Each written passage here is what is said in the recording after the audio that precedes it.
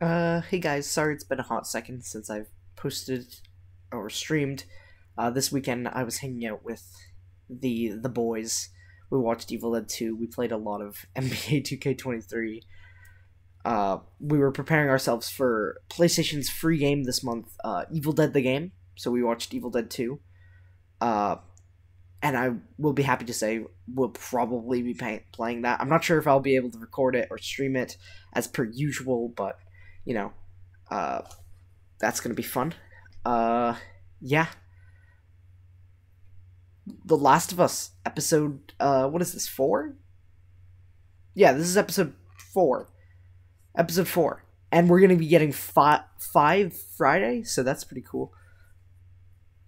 Okay, so ep- episode four uh, was my second least favorite. First episode was better, and third episode has been the best episode so far. This episode was definitely better than episode two, but it had lots of plot changes. Plot changes I didn't necessarily like. First of all, they got rid of the hit him with the car scene, and for the joke book, they took out the first joke, which is the best joke. Uh, I used to be addicted to soap. I'm clean now. How dare they take out that joke?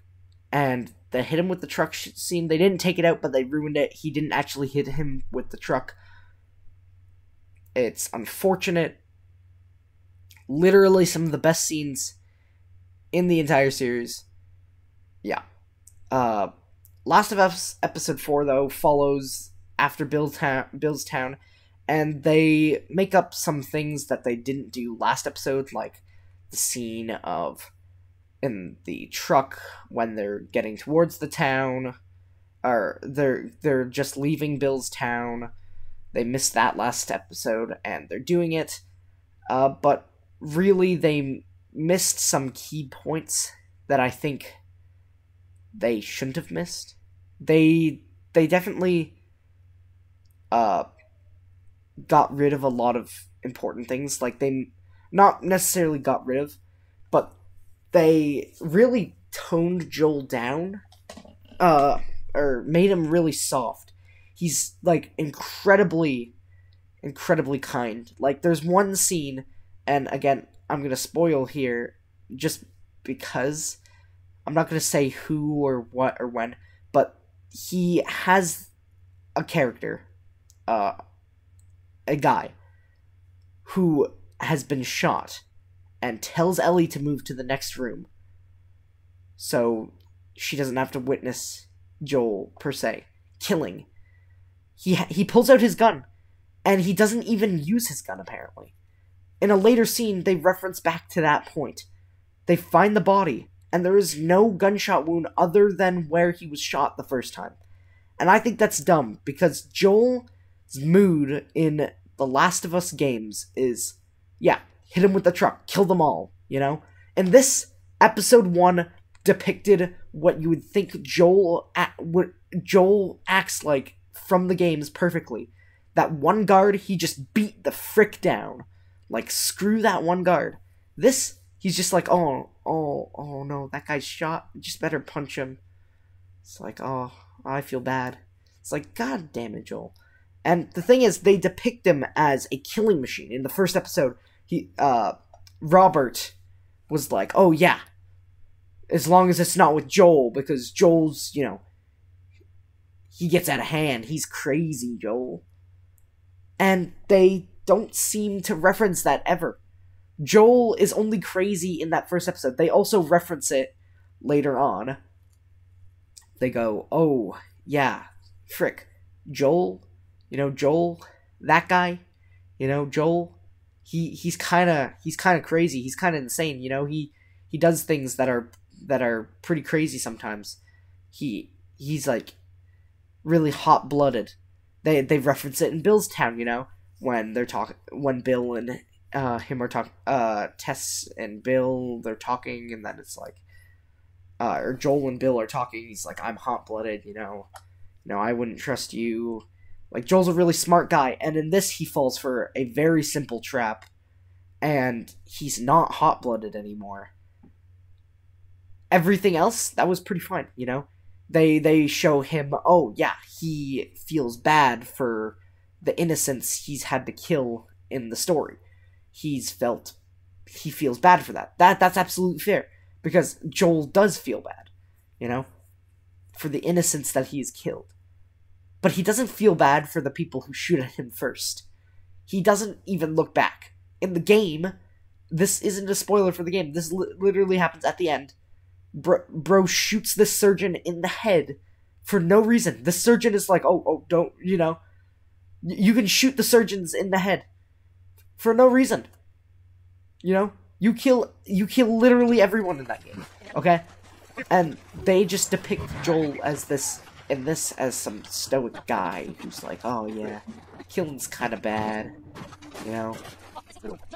But they they tried to humanize the hunters, which I, I'm fine with humanizing them, but they humanize them to a certain extent that I didn't personally like. Uh, this is my second least favorite episode for for freaking sure. Uh, my favorite episode's still three, but you know, I preferred I prefer a more aggressive Joel to what they have as a a Joe Joel Joe uh, a Joel who is like, oh yeah, uh, I I don't like killing. Killing's bad.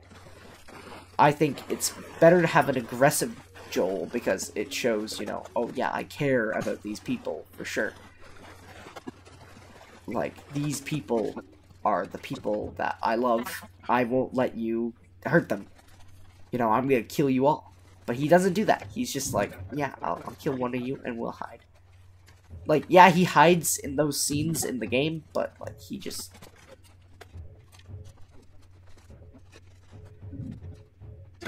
it's just not very good. It's, it's, it's not good changes there. Uh, though I'm very excited to see Henry and Sam. Uh, though I feel like they're depicting Henry and Sam as this villainous, as these villainous characters, and I don't necessarily like that. I like Henry and Sam in the games. Uh, I've played through the Henry and Sam section. I am getting near close to the close to the end. I'm reaching the end of fall right now. I think.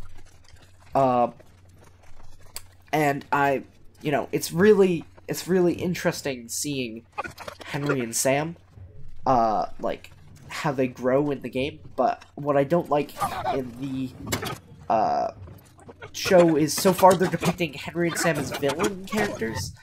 Like, oh my god, they did this and that, and it got that person killed and that person killed, and we're hunting them down. It's like, what? Why? From my knowledge, from the game, Henry did nothing wrong. Henry and Sam, they're chill people. You know, they just want to get out of out of this crazy place. You know? And a bunch of hunters hunting them down, you know? And there's no reason why the hunters are hunting them down, and I don't like that, because I really like Henry and Sam. Unfortunate, unfortunate story. Uh, though, again, it's still not my least favorite episode. It's not my favorite. It's definitely freaking not my favorite.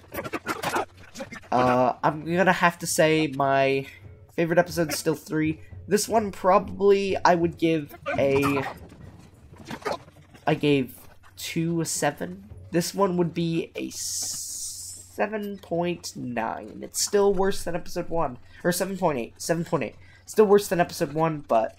You know, their changes I didn't like very much, but I did like the episode itself as a standalone show. It was a pretty good episode.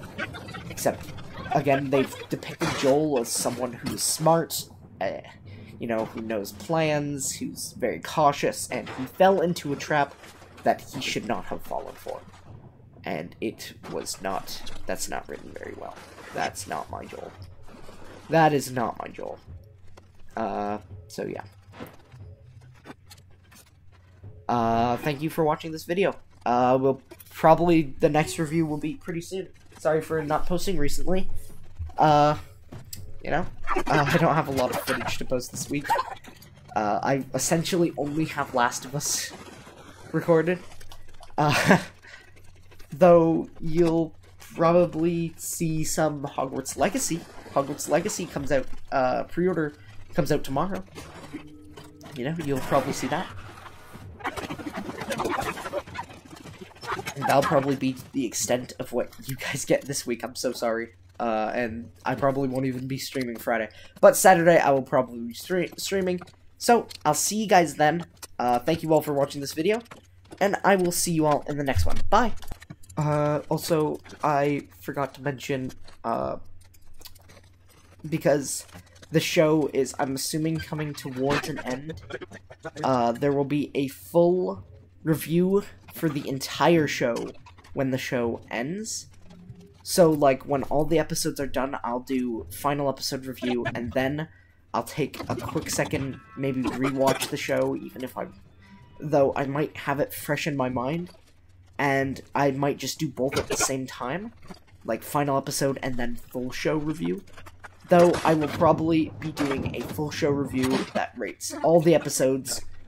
I add them all up, all my scores, and then give it a rating out of you know, whatever it would be rated. Because each episode is 10, and then you would have all episodes combined together to make a certain number. If there's, per se, uh, 10 episodes, then you'll have 100, a score of 100, and, you know, yeah. We'll see what happens then. Bye.